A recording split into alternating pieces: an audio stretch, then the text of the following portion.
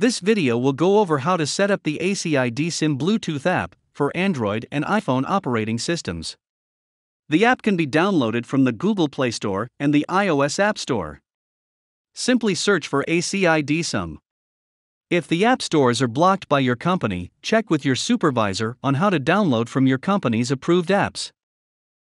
Begin by plugging the Bluetooth transceiver into the AGC.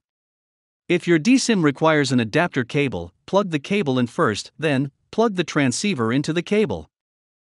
Open the DSIM app.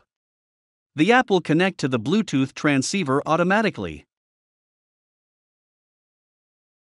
To set a DSIM into AGC mode, tap the Settings tab and enter the code for your desired pilot channel. Contact your supervisor if you are unsure your system's channel code.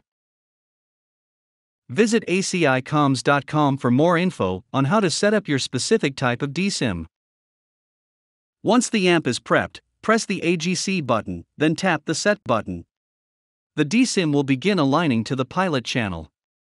This process will take about 30 seconds. When finished, the LED on the DSIM will flash blue and orange alternatively for a moment, then it will resume flashing the blinking pattern of the channel it has been set to. Remove the dongle from the cable, then remove the cable from the DSIM. The DSIM automatically records a sample set of 5 data points every 4 hours. This data can be helpful to assist in plant troubleshooting.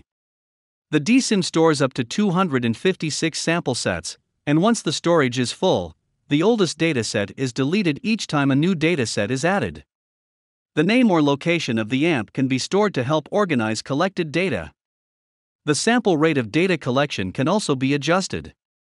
The default setting is every 4 hours, which will provide 40 days worth of the latest data. To download collected data, navigate to the Download tab and press the Email Data button, then choose your preferred email app. Here is an example of the CSV file that you can send as an attachment to yourself or your team. For more info, visit acicomms.com to download the manual PDF.